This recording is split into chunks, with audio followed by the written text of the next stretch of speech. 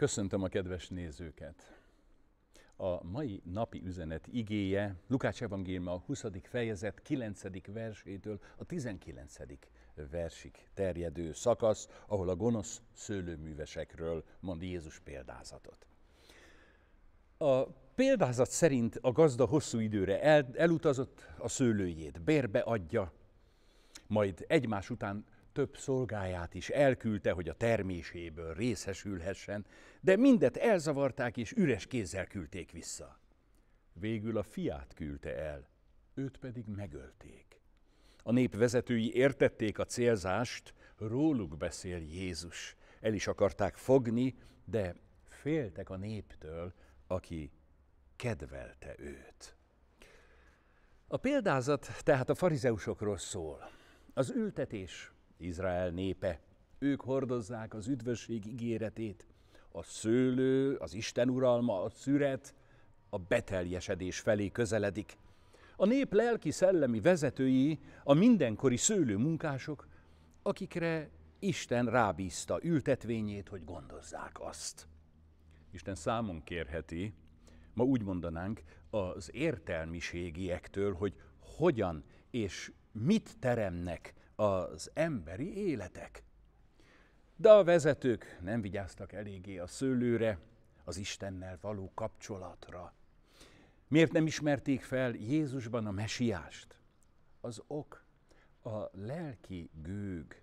A szegényekkel nem törődték, elvettek, az, elvették, amiük volt. Önkényesen hatalmaskodtak rajtuk. Saját érdekeik szerint elferdítették az igazságot, csak magukkal törődtek. Kialakult, hogy inkább a törvény szavára figyeltek, mint lelkületére.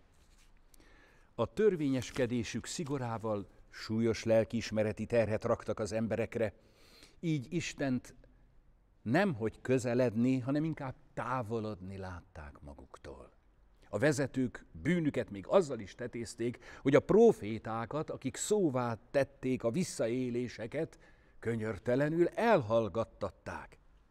Elérkezett azonban egy új korszak, amikor Isten végleg döntés elé kívánta állítani népét, hogyan is tekintenek az ő uralmára.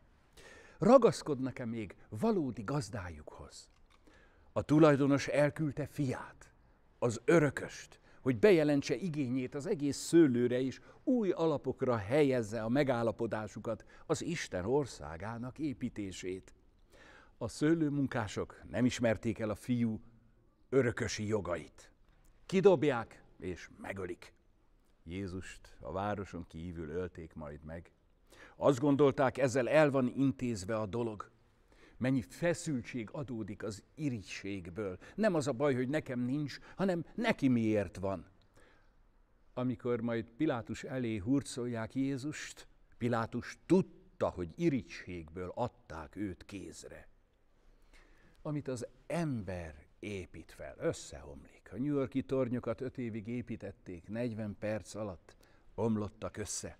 Most egy egységes Európán fárdozunk, nagyon ingatag alapon áll. Jézus legfontosabb kijelentése a példázatban, elvétetik tőletek az Isten országa is, olyan népnek adatik, amely megtermi annak gyümölcsét. Van egy figyelmeztetés, amely Isten új népére is érvényes, az a kő, amit az építők megvetettek lett, a sarokkő. Aki erre a kőre esik, összezúzza magát, akire pedig ez a kő ráesik, azt szétmorzsolja. Jézus lett ez a sarokkő, akit Isten feltámasztott a halálból, és immár az élő örökös Jézus örömmel részesíti az örökség áldásaiban azokat, akik felismerik, hogy ő a gazda fia. És nélküle semmit sem tehetünk, növekedni sem tudnánk. Az új lelki templom az első pünkösd óta épül. A sarokkő az alap, Jézus. A hitetleneknek megütközés, de a benne hívők számára csodálatos kincs. Gyurkovics Tibor próbakő verséből hadd idézzek. Jézus próbakő. Jézusra mindenkinek választ kell adnia. Az üveges váróteremben állva erre felel az utazó, a pap a bandita.